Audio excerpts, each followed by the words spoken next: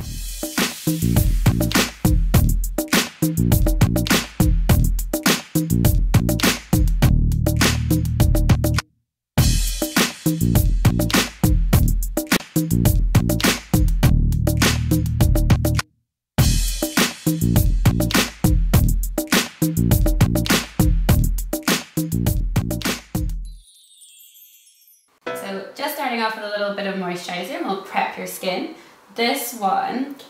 absolutely loving at the moment is the Olay sort of like radiance boosting one.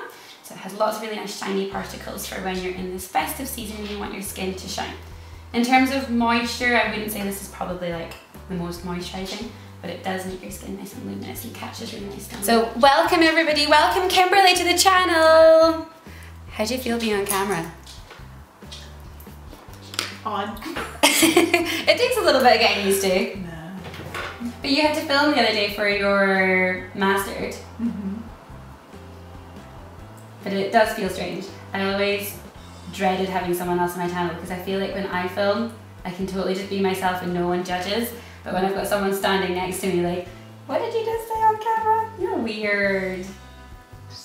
Can you hear your own voice on camera. Oh, it took so long to get used to to hear your own voice on camera. So, so long. Auburn pomade just to fill out the tail section. So after watching all this footage back, I just realised I have a wig on and you can only see my little blonde locks falling down. And I thought I better actually say something because that looks really strange that I've not mentioned I've got platinum blonde wig and I've cut all my hair up. I think I need more wigs in my life. And there's no really rhyme or reason as to why I'm wearing a wig. No, Kimberly had one and I wanted it. So we're gonna crack on. I'm gonna use MAC Wedge just in Kimberly's socket, just to sort of give yourself a little bit of definition there. Next up, I'm gonna use Bobbi Brown's Long Lasting Concealer Sticks. I absolutely love these. They're so long lasting. They, especially this one, Moonstone, has a really nice shine to it, but they're so long lasting grab onto eye makeup and make it just that little bit more pigmented. I just love the sparkle that it gives. I love the shine. And because these have got a little bit of a shimmer and a sparkle through them, it makes it really easy to blend. Like some crayon eyeshadows, you can get to your edge and you're just like, ah, I don't know how to blend this. But because it's got that sort of glitter and sparkle through it, you don't have to be too precise. This is quite a nice sparkly black. Just to sort of start smoking it out. So now that I have gotten the definition that I want with the dark, I'm gonna go over the top with a combination of the sleek Christmas glitter. I don't even know if it has a name. Steel? It's a sleek Christmas glitter anyway. It's glitter, it's Christmas, we're just gonna throw all the glitter at it. So this is when your eyelids are starting to feel a little bit wet. Mm-hmm. And this one will just start build up that dark sparkle. And then I'm gonna use the collection one in Hustle. Absolutely love that name. Hustle and Hustle. Because those are wet like usual, I'm gonna set all of that wet glitter with a little bit of MAC Enlightening Pigment. Just over the top so that it all stays in place so that your eyelids don't crease and you get that sort of mooshed effect from it. It won't cover the glitter, you'll still get the sparkle through because the enlightening pigment's quite sparkly and reflective anyway, but it just means it sets it all in place for you.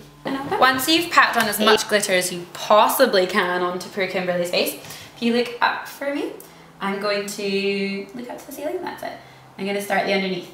Now, this isn't the typical go-to look I would go for, but I feel like some of you out there would think a silver and black sparkly eye, I mean, how original is that going to be?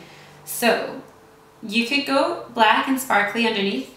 I'm going to go color sparkly. Because Kimberly has like hazily green eyes, I'm going to bring out the green in them by using a little bit of purple. And I'm using MAC Disco Purple. So once I've lined that a little bit, I'm going to put it on the back of a brush, so you don't have to look up this time, you can just look straight ahead. And I'm going to use a two on two, just to emphasize and add a little bit more and start to smoke that lower lash. But now I'm going to do your base. I can sit down for this bit. Hey there! And I'm to switch your skin so you closer to me. With a little bit of MAC Fix Plus just to hydrate your skin. Because your skin's a little bit on the drier side so base keeps it nice and hydrated. So many makeup bases sort of trick you into thinking they're good but they just go really greasy on the skin. And this one just feels like a cushion like it's really soft on the skin fills out pores. Personally, I don't find it does much to holding on my makeup for longer, but I just find it gives it a smoother base for application to makeup. And then I'm gonna use my damp beauty blender and I'm gonna apply Dior Star. This for me is like Christmas makeup. Dior Star does as it says, it's like a star foundation. It's so flawless, it's good for all skin types, especially one that I have in my kit all year round. But at this time of year, especially when it comes to going out and partying all night, this bad boy does not budge off of the skin. And I'm just going to use the damp beauty blender to blend all of that in a little bit with the Collection 2000 Lasting Perfection Concealer. As you all know is a fave of mine. You have such porcelain skin. It's so... How do you feel like coming here and knowing you should have like a beautiful Florida tan mm-hmm. and it's just disappeared being in the Scottish light? You know, because I'm in the salon so much in the States, I don't really see as much when You're I'm like there. vampire hairdresser. I'm gonna use my favorite brush. Thanks to NikkieTutorials and Desi for this one. I saw them use it, so of course I wanted one. And now I'm absolutely addicted. It's so soft. It feels like fur, doesn't it? Mm, It's nice. It's so soft. And I'm just gonna sculpt out that gorgeous Just finishing off shaping the face with my trusty Collection 2000 palette. A fiver. A fiver. I love this. I just love finding good, cheap. I say cheap, cheap's not the right word, but like affordable makeup for everyone rather than it being. And I mean, if you like buying expensive makeup, then you buy that expensive makeup, but not everybody can afford it. So I'll cheapen it down with the Collection 2000 and then I'll bring it back up with the Becca highlight. Oh, this stuff's just gold dust. This is the Jaclyn Hill one. The only thing that really upsets me is that I drove, I got someone to bring it back all the way from America for me. Drove all the way to Fochabers for it, which is like an hour away from here. Got there and it was broken. It didn't survive in the highlight. The tops of the cheekbones. Give your little nose a little highlight. Everybody loves a bottom nose highlight. Everybody loves it. Mm-hmm. It's like the chipmunk highlight. Keep it back to my collection 2000 palette. I'm just gonna blush those cheeks. Now that your highlight is on fleek, I hate that term, but I mean, it looks so good. I think that's the only thing I can use for it. Nude gloss. Yes. Yeah. I feel like that cat. Yeah. Gorgeous. Gorgeous, gorgeous, gorgeous. So there you go. You can zhuzh your hair right now if you want to zhuzh your hair. You can zhuzh it. You can do your flip out. So there we go. Have a look at the camera. Show everyone your pretty face. Is it? Ah, yeah, you, you might you might need to judge. You look good though. You can walk it. There we go. So that's my go-to smoky eye for Christmas looks. If it's silver, sparkly, and you can swap to gold if you are wearing gold. But if you're silver, silver, because Kimberly had some silver sparkles on. So yeah, we're gonna quickly wrap up and take my wig off, and then it's my turn to have my hair done. Yeah. See you in a bit. So, I'm going to start off by sectioning the hair from the ear up into the crown forward on both sides and then keeping the back section all together as one. Um, I want this to be as easy as possible for anybody to do at home. I think taking slightly larger sections works for some hair textures and others you have to take smaller sections. Smoothing iron that I've got recently, it's new. And when you go to clamp it, what happens is is the plates vibrate and it helps to shimmy down the hair It's to the avoid funniest snagging. feeling in the world. It's quite interesting. I relate it to when my husband's playing his Xbox and he crashes a car. It- That's kind of what it feels like. It feels really relaxing like when you do it, and I feel like my hair like ooh. So, as you can see, we've got quite a decent sized section here. And what I like to do is spray each individual section with a very light, non-sticky spray. What I'm going to use is Affinage's Fabulous Finish Hairspray.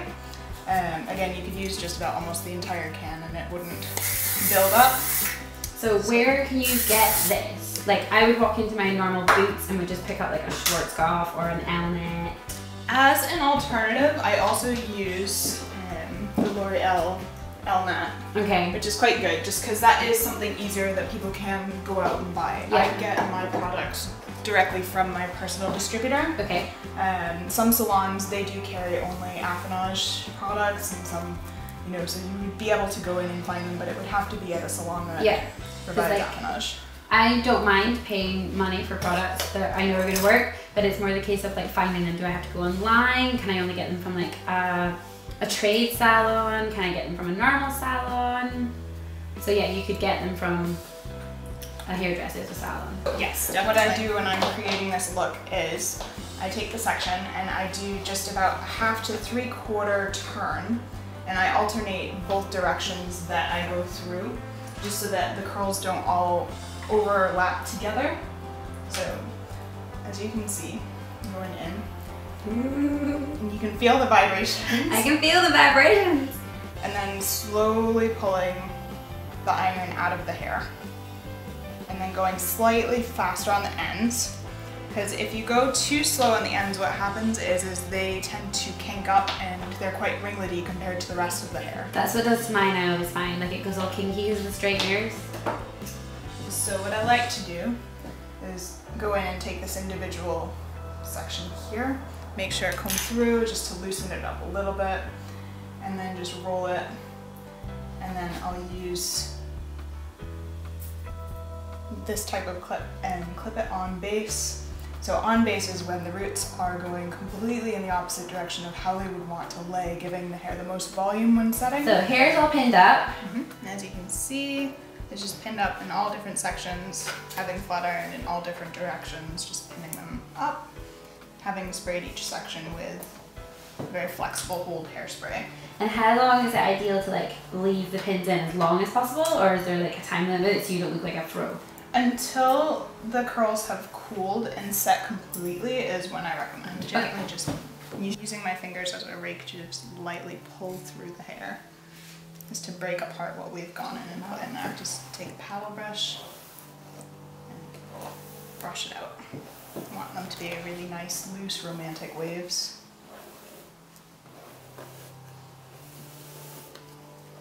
I love brushing my hair. I like to kind of use the side of my hand to just wrap the hair around. It's kind of reinforcing that wave of a shape down each side. And then pin to secure with vertical placement of the bobby pins going right in the middle center back head. I like to crisscross the pins just to really secure them. One going up. And then take the next one That's my. I find I put bobby pins in or curvy grips, whatever you want to call them, and I they just fall out. That's my worst thing.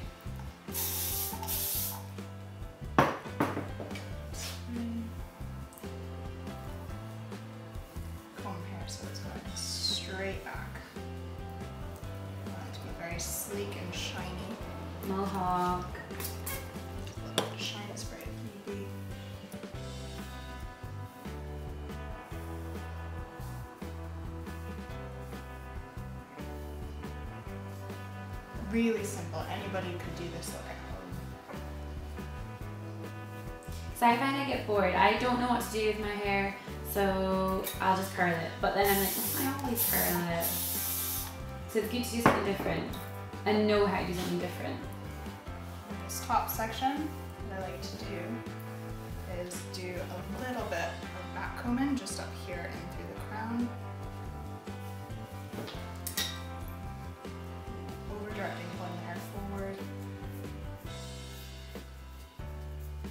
that nice solid base in there. And then let it fall back. Now you take your next horizontal section, pull it forward, then making almost as if it's a C shape, going straight down into the root. And let it fall back. And as you can see, it's starting to push up, creating that little volume. Brush back this front top section here. I like to shimmy around the part line to avoid any sort of visible harsh lines. Bubba, So then I go up with the bobby pin, and the hairpins, and then leave them back down just to give them a little bit of lift. And then just tousle out the bottom. Just use your visual judgment. Find what you like and go with it. We go for almost like a mohawk, A vintage mohawk. vintage mohawk. Yes. Hello everyone, welcome back to the channel. And I told you I'd have a special guest. I told Hi. you. Hi, so everyone. recently, every time I post a picture of my makeup, everyone says, "Wow, your hair." Yeah. So this woman's responsible for it. This is my hairdresser, Kimberly Logie. So I always rave about her on Facebook and Instagram. And as I said, you always liked my hair. So I thought, why not do a special Christmas get ready with us? And she's showing you how to do your hair. So she showed you how to curl it, how to pin it, how to get that really va boom curls. And then she showed you how to style it and put it in an updo too. My bit's pretty much like not even needed in this video. So I've shown you how to do Kimberly's makeup. And I did Kimberly's makeup with the sparkly smokies. And Bubba and Bean are around here today too. Oh, Bubba, do you want to come up on camera? Trying to say hi. Do you want to say hi? Come here. Oh, come here, little one. Say hi to Bob and Bean. Oh, look. Happy they're making a little appearance. So, thank you so much for watching as always. And I want to make a really special shout out to a viewer of mine. I don't know who you are, but you will know who you are because I did a wedding on Sunday, Sunday, Saturday, and my bridesmaid said that you watch my channel religiously. And I mean, all my subscribers mean the world to me, but to hear that you do and that you sit in the back and watch your videos, because I do too, so don't worry. It's just so much fun. So thank you so much. I appreciate it. So, this is going to say bye. So as always, thank you so much for watching. If you've liked this Christmas edition of Get Ready With Me, give it a like, subscribe. You can follow me on Instagram, Snapchat, Facebook, and now you've got a new person to follow, Bubba. And now you've got a new person to follow. Kimberly, what are you on social media? You can find me on Instagram. It's Kimberly Logie Hair, Facebook uh, slash KL Hairdressing, and my website is www.kl-hair.com. Oh, you're posh. You have a website. I don't. Okay, well that's us. Thank you so much for watching, guys. And Bubba and Bean say Say bye. Bye.